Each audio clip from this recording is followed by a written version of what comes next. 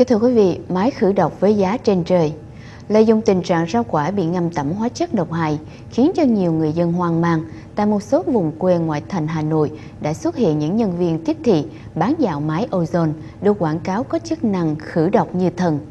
Những ngày qua, nhiều người dân ở vùng quê ngoại thành Hà Nội như Chương Mỹ, Thanh Oai, Thanh Trì đã đua nhau mua máy khử độc thực phẩm bằng khí ozone của những nhóm nhân viên bán dạo.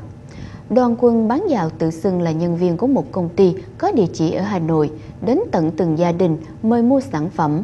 Thậm chí nhóm nhân viên tiếp thị còn dùng chiêu tặng máy khử độc ozone cho trưởng và phó thôn rồi nhờ họ vận động người dân mua hàng. Theo như quảng cáo của nhân viên bán máy này thì loại máy sản xuất ở Trung Quốc có giá là 1.5 triệu đồng, còn hàng Nhật Bản thì giá chào bán là 2.3 triệu đồng một máy. Tuy nhiên, thực tế các sản phẩm này được bán tại các siêu thị, trung tâm điện tử, điện máy với giá từ 720.000 đồng đến 1.8 triệu đồng một máy.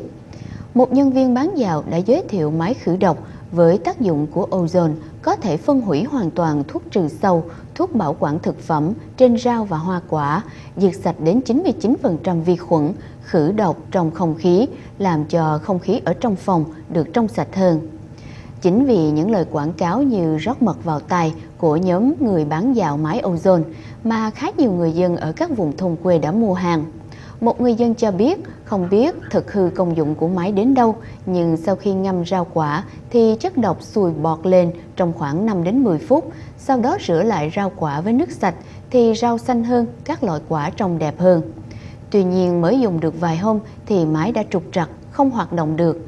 Người mua gọi đến số điện thoại mà nhân viên bán hàng đưa cho để đòi đổi máy mới theo như lời quảng cáo, thì đầu dây bên kia trả lời hôm nay là ngày nghỉ, không giải quyết.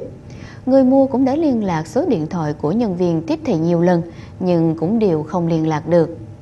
Tiến sĩ Nguyễn Văn Khải, người có nhiều năm nghiên cứu về ozone cho biết, trong thực tế, đúng là ozone có khả năng phân hủy thuốc trừ sâu, các thuốc bảo vệ thực vật nói chung. Tuy nhiên, ozone không phân biệt được chất độc hại hay chất bổ dưỡng. Tiến sĩ Khải còn cho biết, để có tác dụng phân hủy các hóa chất thì máy tạo khí ozone phải đạt nồng độ ozone đủ lớn.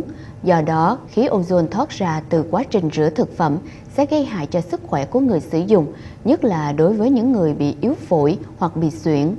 Khí ozone dễ gây ra những bệnh về hô hấp như viêm phế quản, viêm mũi.